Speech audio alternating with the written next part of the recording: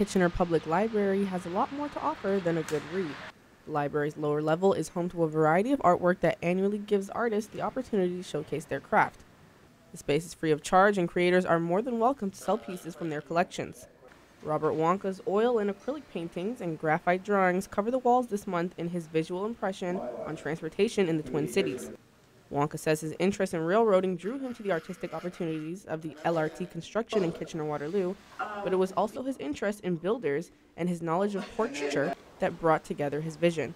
I love, I love the fact that uh, builders, makers, I think of myself almost like one of those, okay, a builder maker, or at least I idealize or I find them interesting. They're usually the unsung heroes. They build all this stuff that we take for granted, this building itself, the lighting and everything else, built by makers, builders. Wonka's work received great feedback and will be on display until March 29th. For Spoke TV, I'm Nadia Elawad.